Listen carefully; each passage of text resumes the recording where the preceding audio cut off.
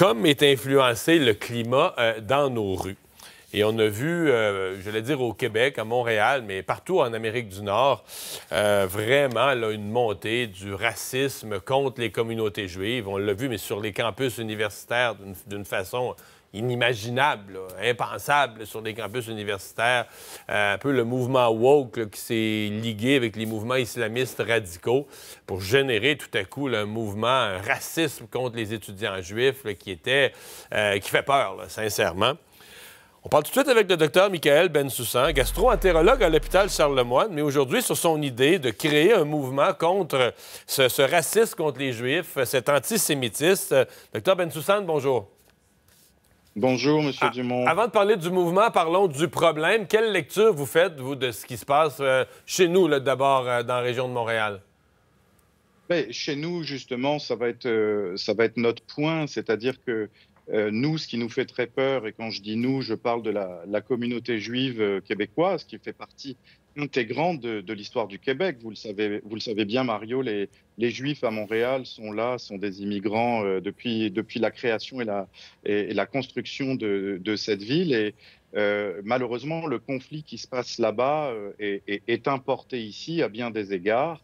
Et nous, notre point, euh, c'est de dire que euh, à Montréal, euh, la vie est douce, la vie est tranquille, la vie est inclusive, les communautés cohabitent très bien et l'importation de ce conflit à nous qui ne sommes ni israéliens ni palestiniens. Alors évidemment, euh, on est face à une guerre, c'est horrible, tout le monde a son cœur qui saigne de voir les, images horribles, les assassinats, les exactions, enfin euh, les, enfants qui sont touchés euh, là-bas, que ce soit d'un côté ou de l'autre, évidemment tout ça est affreux, mais l'importation de ce conflit et l'importation de la haine avec la libération hallucinante ces dernières semaines de la parole antisémite et des actes antisémites les plus violents, euh, ça a provoqué dans la communauté juive, euh, et y compris la communauté juive médicale à laquelle euh, j'appartiens, une peur. C'est extrêmement nouveau. Ça n'est jamais arrivé dans notre pays, ça n'est jamais arrivé dans notre province, et on a eu envie de tous se donner la main pour essayer de dire, écoutez, arrêtons ça tout de suite, c'est inacceptable. On ne peut pas importer ce conflit, on ne peut pas tolérer que des écoles juives se fassent tirer, que des cocktails Molotov soient envoyés sur des écoles, que des étudiants juifs soient molestés, que euh, des étudiants de confession euh, juive aient peur d'aller à l'université, aient peur de croiser le regard des autres mm. étudiants, restent chez eux, se font exclure de groupes de travail. On ne peut pas accepter ça. Euh, c'est pas ça le Québec, c'est pas ça le Canada, et c'est ça le message qu'on voulait euh, délivrer. Mm je ne veux pas minimiser. Bon, il y a eu des, actes contre des écoles lancés sur le bâtiment, mais, mais j'ai l'impression qu'il se passe quelque chose de peut-être encore plus féroce sur les campus. Évidemment, les, étudiants sont plus vieux. Oui. Euh, on l'a vu aux États-Unis, on l'a vu même aux États-Unis. Le Congrès a convoqué les présidents des universités. La présidente de l'université Harvard questionnée à savoir est-ce que de demander le, génocide d'un peuple, demander le génocide, euh, le génocide des Juifs, est-ce que ça se dit? Est-ce que c'est acceptable dans votre université? Elle dit ça dépend du contexte.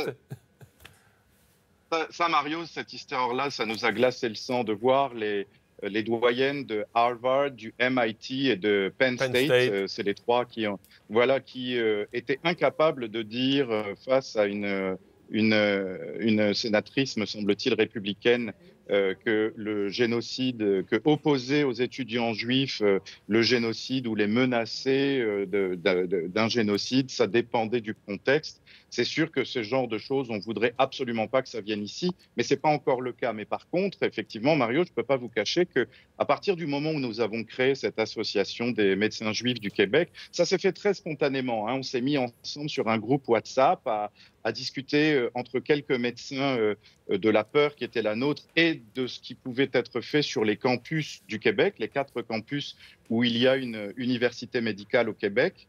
Euh, on s'est dit, euh, on s'est tout de suite dit que euh, on allait ouvrir un email ou un moyen de communiquer avec nous pour justement que les étudiants puissent exprimer leur peur et exprimer potentiellement les exactions qui sont faites.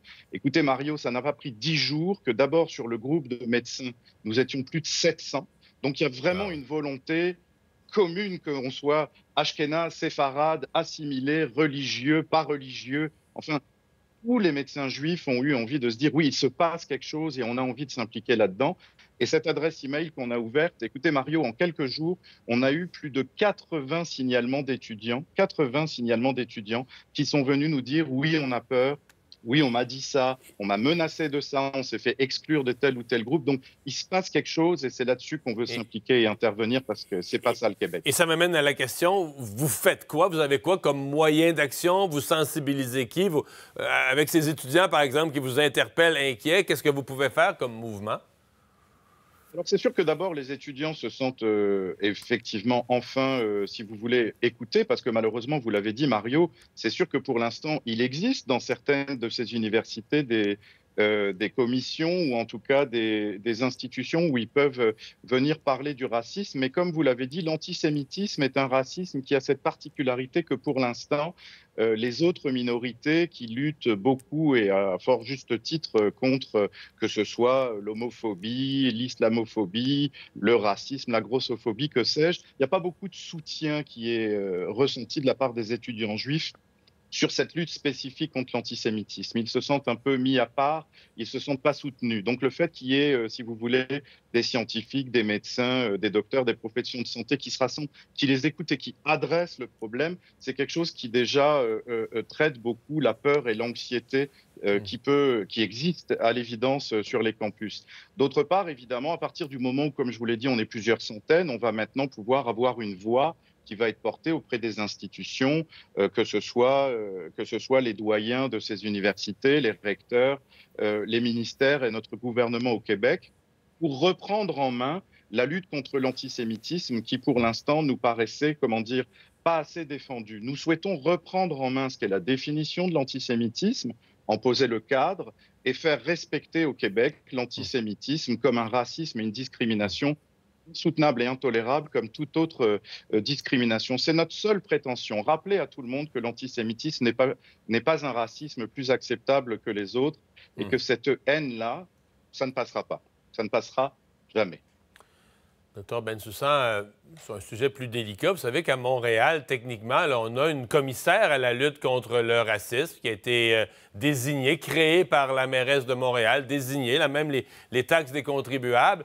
Euh, qui s'est retrouvé dans des manifestations, bon, euh, contre la guerre, mais dans des manifestations où il y a des gens là, qui, euh, le manifestant d'à côté, tenait des propos racistes ou en appelait quasiment au génocide. comment vous expliquez ça? Comment vous vous expliquez ça? Comment vous voyez son rôle pour combattre pour le, racisme? Est-ce que, est que vous l'interpelleriez? Est-ce que vous sentiriez bien de l'interpeller dans, dans la mission que vous vous donnez? Monsieur Dumont, vous tombez bien. Je suis allé il y a trois semaines au conseil municipal m'adresser directement à Valérie Plante à titre personnel pour demander la démission de Bochra Manaï puisque c'est d'elle que nous sommes en train de parler. Effectivement, la commissaire à la lutte contre la discrimination et le racisme de la ville de Montréal, alors elle a tout à fait le droit de manifester euh, pour la Palestine et de soutenir la Palestine, c'est son droit. Mais malheureusement, quand on est allé regarder ses réseaux sociaux, elle, euh, fait la promotion de choses qui sont beaucoup plus euh, douteuses que ça. Et surtout, le silence de Boshra Manaï a été total et a été assourdissant suite aux exactions qui ont été menées contre la communauté juive. Donc en fait, Boshra Manaï, euh, a tout à fait signifié par ce silence que l'antisémitisme et les actes antisémites qui sont faits à Montréal, ça ne l'intéresse pas.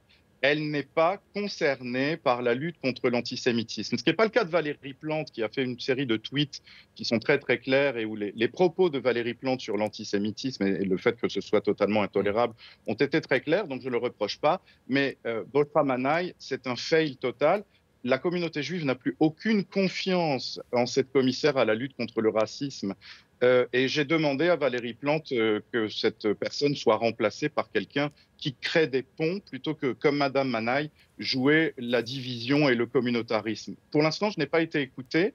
Elle s'est excusée et elle a promis de ne plus participer à des manifestations qui feraient la promotion, je dirais, euh, de propos qui sont, euh, qui sont des appels à la haine et au meurtre. Mais elle n'a pas davantage défendu le racisme anti-juif, par exemple. Elle s'est juste tue. Elle a juste pris son trou et elle s'est tue un silence assourdissant dont le message a été très reçu par la communauté juive. L'antisémitisme et la lutte contre l'antisémitisme n'intéressent pas Madame Manaï et ça doit se savoir. Merci de me laisser l'occasion de le dire, Monsieur Dumont. Je ne saviez pas que vous aviez fait cette intervention au conseil municipal, mais c'est quand même une question, je sais, qui se pose beaucoup à l'intérieur présentement de la communauté juive. Michael Bensoussan, merci d'avoir été avec nous ce matin. Au revoir. Merci Mario, merci, merci beaucoup.